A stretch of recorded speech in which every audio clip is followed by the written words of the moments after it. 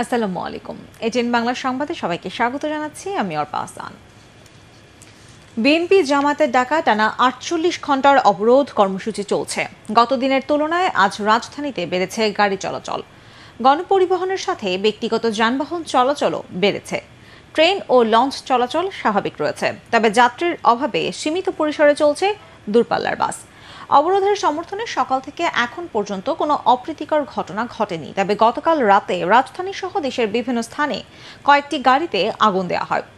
নগরীর বিভিন্ন স্থানে সতর্ক অবস্থানে রয়েছে আইনশৃঙ্খলা বাহিনীর সদস্যরা। ঢাকা সহ সারা দেশের নিরাপত্তায় দুশো আটাশ প্লাটুন বিজিবি মোতায়েন করা হয়েছে।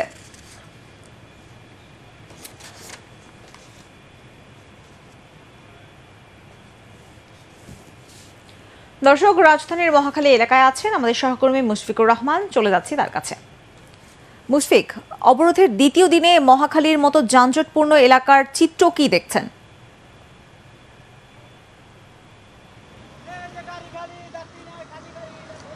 অর্পা, আপনাকে ধন্যবাদ। আমি বেশ কিছুক্ষণ যাবৎ মহাখালী বাস টার্মিনাল এলাকাতে অবস্থান করছি। আপনি জানেন যে মহাখালীর এই এলাকাটা বিশেষ করে খুবই ব্যস্ততাপূর্ণ একটি এলাকা। তবে যেমনটি আমার পেছনে দেখতে পাচ্ছেন, এখানে নগর পরিবহনের যে আনাগোনা, সেটা খুব একটা চোখে পড়ছে না। তবে ব্যক্তিগত যে পরিবহন যেগুলো আছে, বিশেষ করে প্রাইভেট কার মোটরসাইকেল সিএনজি এবং অ্যাম্বুলেন্স সেগুলো কিন্তু প্রায় স্বাভাবিকভাবেই চলাফেরা করছে। তবে লোকজনের যে আনাগোনা বা যাত্রীদের যে আনাগোনা যেটা থাকে আর কি সবসময়, সেটা কিন্তু খুব একটা লক্ষ্য করা যাচ্ছে না।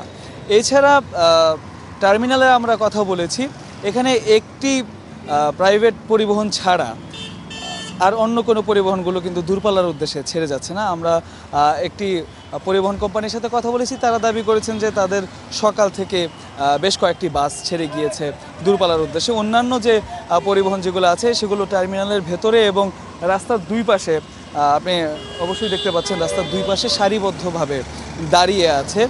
তাদের সাথে কথা বলে যতটা জানতে পেরেছি, যাত্রী সংকট থাকার কারণে তারা কিন্তু এখনও পর্যন্ত ছেড়ে যেতে পারেনি। তারা জানিয়েছেন যে পর্যাপ্ত যাত্রী তারা পেলে তারা অবশ্যই ছেড়ে যাবেন। এছাড়া এখানকার দায়িত্বে থাকা আইন শৃঙ্খলা রক্ষাকারী বাহিনীর সাথে আমরা কথা বলেছি।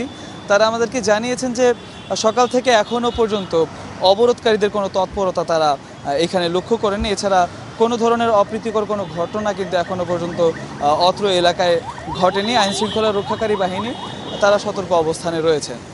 এই ছিল রাজধানীর মহাকালী বাস টার্মিনাল এলাকা থেকে আমার কাছে অবরোধের সর্বশেষ সংবাদ। মুশফিকুর, আপনাকে অসংখ্য ধন্যবাদ। দর্শক, মহাখালী থেকে সেখানে অবরোধের অবস্থান অবস্থা জানাচ্ছিলেন আমাদের সহকর্মী মুশফিকুর রহমান। তিনি বলছিলেন যে রাজধানীর দ্বিতীয় দিনে দূরপাল্লার যান চলাচল কিছুটা কম যাত্রীর অভাবে এবং সংঘর্ষের কোনো বা সংঘর্ষের কোনো ধরনের তৎপরতা দেখা যায়নি এবং আইন শৃঙ্খলা বাহিনী তাদের জায়গা থেকে সচেষ্ট অবস্থানে আছে। চলে যাচ্ছি পরবর্তী সংবাদে। তিন দিনের সৌদি আরব সফরে আজ সকালে মক্কায় পবিত্র হজ মসজিদুল হারামে ওমরা পালন করেছেন প্রধানমন্ত্রী শেখ হাসিনা। ছোট বোন শেখ রেহানাকে সাথে নিয়ে কাবা শরীফের চারদিক তাওয়াফ এবং সাফা মারওয়া সাই করেন তিনি। পরে পবিত্র মসজিদে ফজরের নামাজ আদায় করেন প্রধানমন্ত্রী। এই সময় তিনি বাংলাদেশ ও এর জনগণের পাশাপাশি সমগ্র মুসলিম ওম্মার অব্যাহত শান্তি, সমৃদ্ধি ও অগ্রগতি কামনা করেন। সফর সঙ্গী সহ অন্যান্য সদস্যরাও প্রধানমন্ত্রীর সাথে ওমরা পালন করেন। এর আগে প্রধানমন্ত্রী বিমানযোগে মদিনা থেকে জেদ্দায় পৌঁছান। সেখান থেকে সড়ক পথে মক্কায় যান তিনি।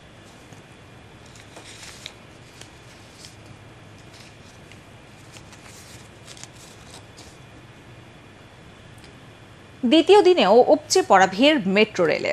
উত্তরা থেকে মতিঝিল পর্যন্ত মাত্র একত্রিশ মিনিটে চলাচল করতে পারছে নগরবাসী। যানজটের ভোগান্তি থেকে রেহাই পেতে অনেকেই বেছে নিয়েছেন এই গণপরিবহনকে। মনোরম পরিবেশে কর্মস্থলে যেতে পেরে খুশিতে আপ্লুত কেউ কেউ। যাত্রীদের দাবি সকালে শুধু নির্দিষ্ট সময় নয়, বিকেল কিংবা সন্ধ্যাতেও মেট্রো চালানো হোক। এবারে ইস্পাহানি শেয়ার বাজার সংবাদ।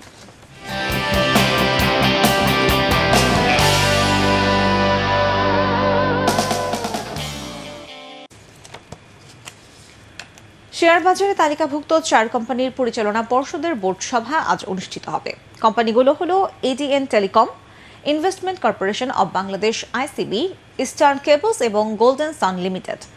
বিকেল তিনটায় ইডিয়ান টেলিকম, সাড়ে তিনটায় আইসিবি ও ইস্টার্ন কেবলস এবং চারটায় গোল্ডেন সান লিমিটেডের সভা শুরু হবে। সভায় কোম্পানিগুলোর সমাপ্ত প্রান্তিকের আর্থিক প্রতিবেদন পর্যালোচনার পর প্রকাশ করা হবে। এছাড়াও বিনিয়োগকারীদের জন্য লভ্যাংশ ঘোষণা করা হতে পারে।